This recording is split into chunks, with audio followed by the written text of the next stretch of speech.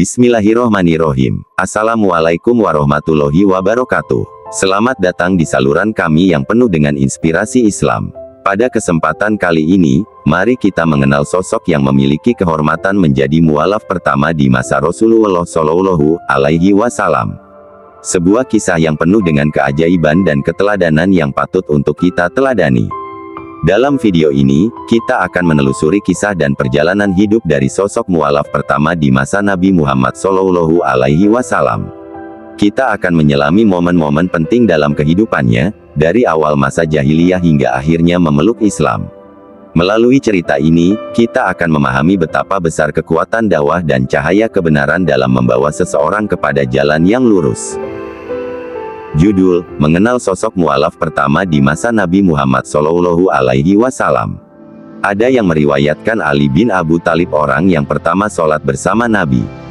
Ibnu Ishaq meriwayatkan bahwa Ali bin Abu Talib radhiyallahu anhu datang ke rumah Nabi Muhammad Sallallahu Alaihi Wasallam ketika Nabi Muhammad Sallallahu Alaihi Wasallam dan istrinya Hadijah sedang sholat. Seusai Nabi Muhammad Sallallahu Alaihi Wasallam dan Hadijah sholat, Ali bin Abu Talib bertanya, Muhammad, apakah yang engkau lakukan itu?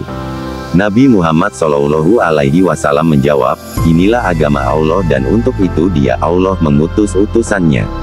Aku mengajak engkau untuk masuk ke jalan Allah yang Maha Esa, yang tidak ada sekutu baginya, dan hendaklah engkau kafir kepada patung Lata dan Uzza. Ali bin Abu Talib berkata, sesungguhnya ajakan ini sama sekali belum pernah aku dengar sampai hari ini. Karena itu, aku harus berunding dengan ayahku, Abu Talib. Sebab, aku tidak dapat memutuskan sesuatu tanpa dia. Dikutip dari kitab Al-Bidayah wa Nihayah, dilansir dari buku 150 kisah Ali bin Abi Talib yang ditulis Ahmad Abdul Al-Tahtawi yang disunting, diterjemahkan, dan diterbitkan kembali PT Mizan Pustaka, 2016, Nabi Muhammad Shallallahu Alaihi Wasallam mencegahnya karena khawatir kabar ajarannya akan menyebar sebelum diperintahkan Allah untuk disiarkan atau disebarkan. Nabi Muhammad Shallallahu Alaihi Wasallam berkata, Ali, jika engkau belum mau masuk Islam, sembunyikanlah dahulu kabar ini. Suatu malam, Allah Subhanahu wa Ta'ala membukakan pintu hati Ali bin Abu Talib untuk masuk Islam. Dia segera menemui Nabi Muhammad Shallallahu Alaihi Wasallam dan berkata, Bagaimanakah ajakan yang engkau tawarkan itu, Muhammad? Nabi Muhammad Shallallahu Alaihi Wasallam menjawab, hendaklah engkau menyebarkan bahwa tiada Tuhan kecuali Allah dan tidak ada sekutu baginya dan hendaklah engkau kafir terhadap patung Lata dan Uzza. Ali bin Abu Talib pun menerima Islam, namun masih merahasiakan kepada ayahnya. Dalam riwayat yang disampaikan Ibnu Ishaq ini, istri Nabi Muhammad Shallallahu Alaihi Wasallam yakni Khadijah sudah melaksanakan sholat bersama Nabi Muhammad Shallallahu Alaihi Wasallam sebelum Ali bin Abu Talib memeluk Islam. Namun, ada juga yang meriwayatkan bahwa Ali bin Abu Talib adalah orang yang pertama kali sholat bersama Nabi Muhammad Shallallahu Alaihi Wasallam.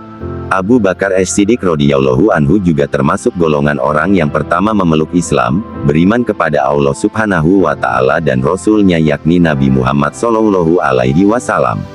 Abu Bakar As-Siddiq adalah orang yang selalu membenarkan Nabi Muhammad sallallahu alaihi wasallam pada masa jahiliyah. Suatu hari, Abu Bakar keluar berdiskusi-berdiskusi dengan Nabi Muhammad sallallahu alaihi wasallam.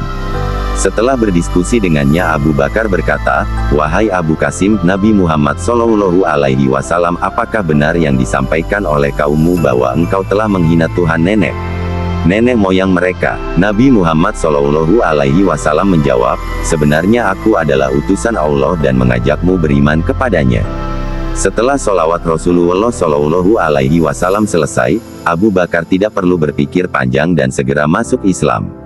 Dua gunung yang mengelilingi Makkah sebagai saksi atas keislaman Abu Bakar menjadi salah satu kebahagiaan terbesar bagi Rasulullah Shallallahu Alaihi Wasallam.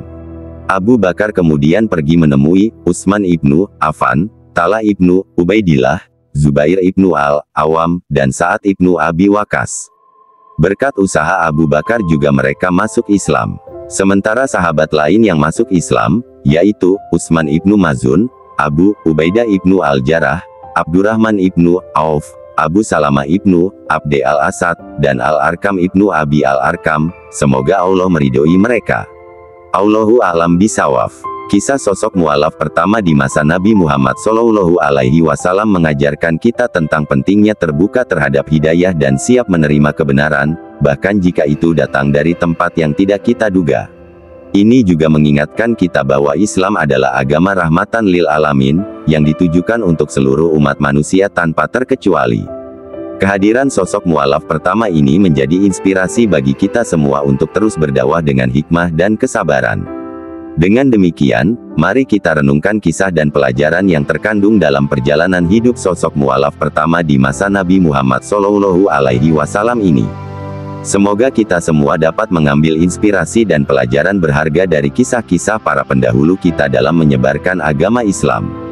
Jangan lupa untuk like, share, dan subscribe untuk video inspiratif lainnya. Wassalamualaikum warahmatullahi wabarakatuh.